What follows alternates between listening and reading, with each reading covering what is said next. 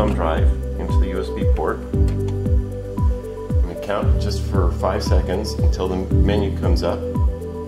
It gives me the USB options menu. Hit select, save log, select, change the no to a yes using the arrow keys, hit select. Log saved. That's all there is to it.